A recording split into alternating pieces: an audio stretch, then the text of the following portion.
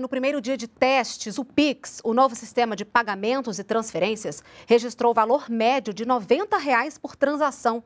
A expectativa do Banco Central é solucionar todos os problemas técnicos neste momento, para que o sistema entre em total funcionamento no próximo dia 16.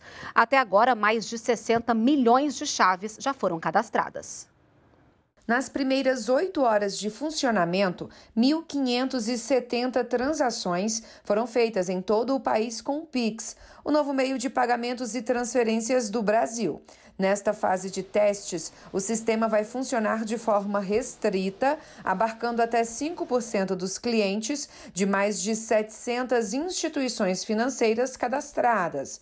Neste primeiro dia de funcionamento, algumas instituições enfrentaram problemas técnicos. Acreditamos que também ao longo do, do, do, dos próximos dias, né, algumas instituições que ainda não estejam operando dentro dos parâmetros de qualidade ou que estejam ainda sofrendo é, instabilidade nos seus sistemas, interrupção nos seus, no, nos seus sistemas, irão fazer essa correção naturalmente, tá? E esse período foi foi exatamente criado para que acontecesse isso. Segundo o Banco Central, todas as funcionalidades do Pix já estão disponíveis. Já é possível transferir, realizar pagamentos e gerar QR Code.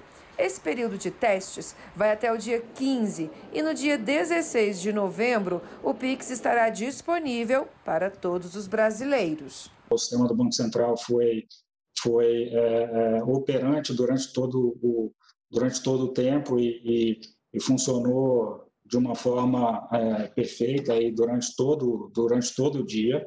Né? Então é, nos dá nos dá uma certeza muito grande que que o ecossistema como um todo está preparado para continuar é, o, o, o, período de operação e entrar aí com cada vez mais clientes. Esse é o planejamento.